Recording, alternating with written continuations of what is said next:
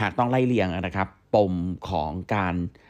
ฆาตกรรมหมู่สี่รายนะครับที่จังหวัดศรีสะเกดก็ต้องบอกว่าเรื่องราวเนี่ยมันเป็นเรื่องราวของชู้สาวแล้วปมเนี่ยมันมีมายาวนานนะครับ โดยคำบอกเล่าของแม่ของผู้ก่อเหตุนะครับ เรื่องราวนะครับเกิดขึ้นเมื่ออดีตสามีนะครับ บุกเข้าไปนะแล้วใช้ปืนลูกซองนะครับ จัดการ 4 คนภายในบ้าน ประกอบไปด้วยภรรยาเก่านะครับ แล้วก็แฟนใหม่นะครับที่เป็นทนายความเนาะแล้วก็ญาติอีกสองคน แต่น้องสิบขวบเนี่ยรอดมาได้เนื่องจากคุณแม่เนาะที่เป็นพออเนี่ยหนึ่งในผู้ที่เสียชีวิตเนี่ยผลักน้องเนี่ยเข้าไปในห้องน้ำจากนั้นเนี่ยน้องเห็นว่าเสียงมันทะเลาะกันน้องก็เลยรีบวิ่งไปขอความช่วยเหลือ แต่ทุกอย่างก็สายไปนะครับ คนในบ้านเสียชีวิตหมดแล้ว โดยจากคำบอกเล่าเนี่ยประเด็นของการเลิกลาเนี่ยนะครับ ก็มีการฟ้องหย่ากันเกิดขึ้นเนาะ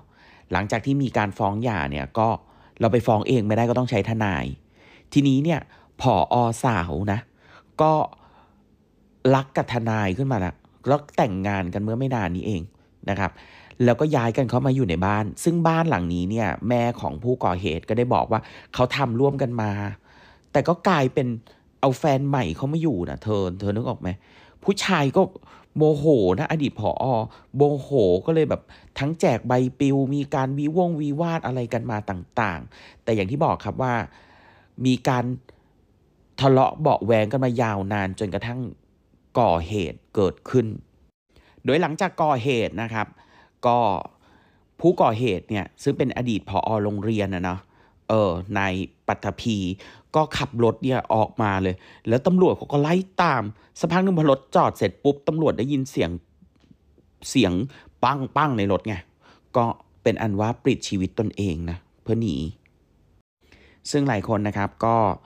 โพสต์นะอะไรพออเหมียวทนายป้อมนะ อืมที่ได้เสียชีวิตไปนั่นแหละ ซึ่งปัญหาเนี่ยมันสะสมไม่ว่าจะเป็นในเรื่องของทรัพย์สินเนาะรวมถึงบ้านที่เกิดเหตุด้วยแหละโอ้แล้วก็จะเป็นในเรื่องของประเด็นชู้สาวเนาะมีการหึงหวงอะไรอย่างนี้กันต่างๆ อืมก็อย่างที่บอกเนะว่าอาจจะต้องใจเย็นกันนิดนึง